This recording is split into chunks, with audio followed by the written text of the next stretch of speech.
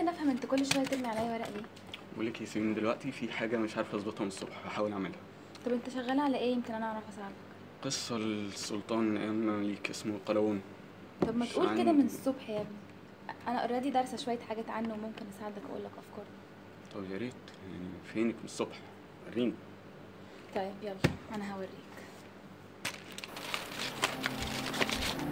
This short film is to tell the story of a Mamluk's rise to power. And the story of how the first and the greatest complex building at the time came to life.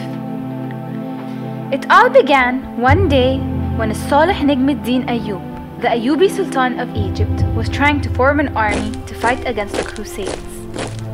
His army was made up of the specially trained Mamluks that he bought at the marketplace.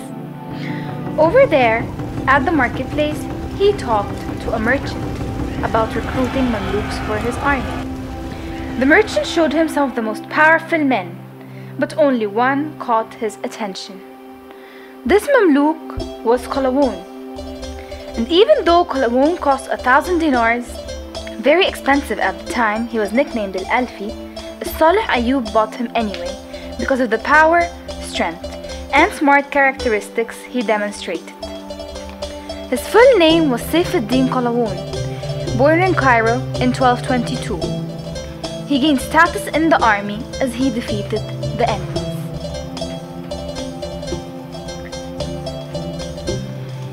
Even though Salih Ayyub was a great and powerful leader to his army, unfortunately, he passed away.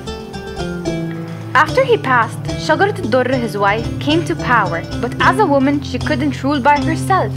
So she married Aybak and they ruled together. But after their death, Qutuz came to power and ruled.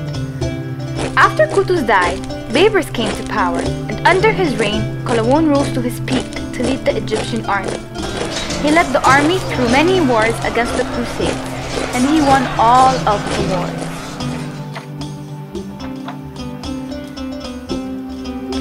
During a trip to Damascus, Qalawun got very sick to the point that he was admitted to Al Nuri Hospital, built by Nur al-Din al-Zain. After he woke up, he was very impressed by what he saw. It was the first time that he saw such a project that helped the people. It was a true philanthropist idea. So he vowed to himself that as soon as he went back to Egypt, he would build something similar to help the people of Egypt.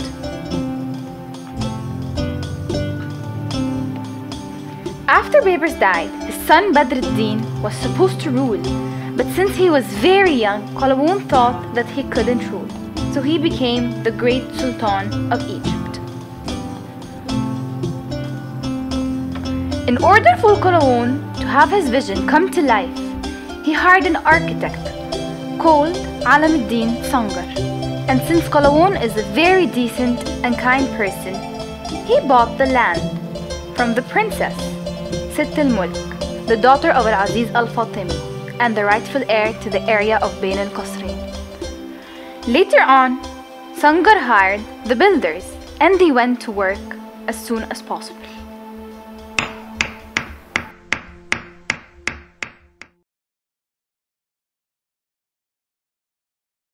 فهمت بقى قصته كانت ماشية إزاي؟ آه طلع حوار.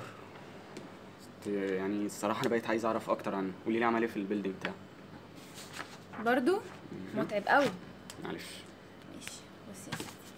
building بتاعه كان متقسم ثلاث حاجات Qalawun's complex is one of the most important Islamic monuments in Egypt. It includes a mausoleum, a madrasa, and a bimaristan. It was built from 683 to 684 in Al Mu'izz Street in the area of Bain al Qasrain. The plan shows a great corridor that separates the entry from its components. The back part of the plan does not exist anymore. The main elevation of the building is 67 meters long and 20 meters high. It is made of stone with vertical arched recesses, covering from the top to the bottom. They are made by marble piers. The window bays are typical Bahari Mamluki. The facade is covered in inscriptions written in Thuluth. The carvings show the name of the builder and the date. It has a horseshoe arched entrance, surrounded by two large Corinthian columns. It's topped by a semicircular niche with three windows. It leads to a great passageway, a threshold to the complex.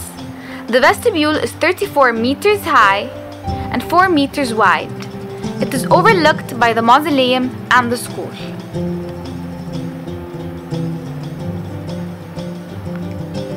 The mausoleum is considered the second most beautiful mausoleum in the world after the Taj Mahal. It's shaped like a semi-square, topped with a dome supported by four piers and four columns made of pink granite and linked together by wooden ties. The decorations were stuck to the columns using chewing gum in order to make the smell pleasant. The dome was mounted on an octagonal neck, which was the transition during the Bahri Mamluk era.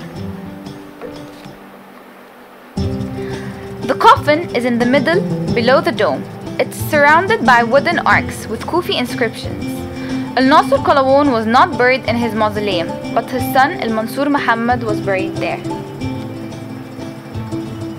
The mihrab is considered the beautiful one, more than the one in the madrasa. It's a semicircular niche with three huge columns on each side, covered with a small marble column and biomorphic decorations. Decorations of the interior include Kufi inscriptions, biomorphic drawings, and geometric patterns. The column capitals are gilded. The windows are covered with stained glass. This expresses Islamic architecture. The mausoleum has an outdoor extension, covered with six domes, but part of the roof is a tapered vault, and part is open to the sky. The exterior wall of the mausoleum is also covered with biomorphic drawings and geometric patterns, faced with a stained glass, typical Bahari Mamluki arches.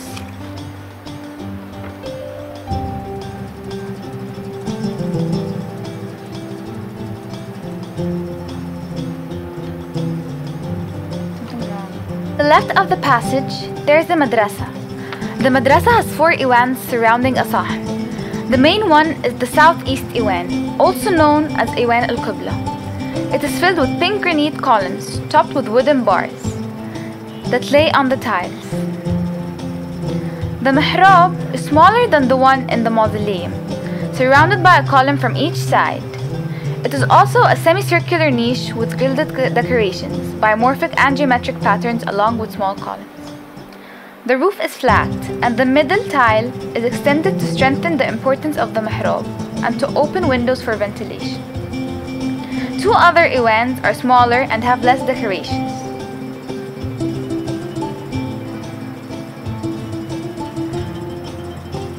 The northwest iwan contains a door that leads to a ladder connecting the Iwan to upper chambers. It also contains decorations like the Iwan al-Qibla.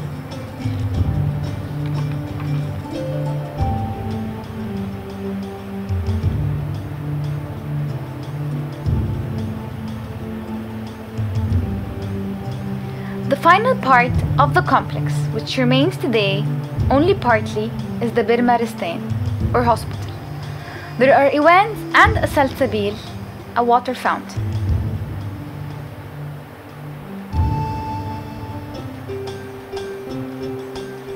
It is surrounded by vaulted corridors.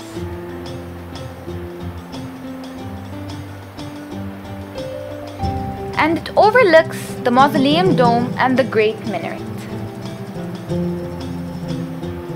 The minaret consists of three levels. The first two levels have a square base with a horseshoe arches, windows, and decorations.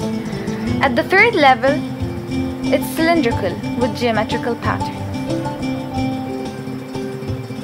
On the other side of the complex, there lies the mausoleum of Salih Ayyub, the buyer of Qalawun. And next to Qalawun's complex lies his sons Al Mansur Muhammad's mausoleum and madrasa. And this is the story of how the great ruler Al Nasir Saifuddin Qalawun Al Salhi Al Alfi came to power and created the greatest complex building.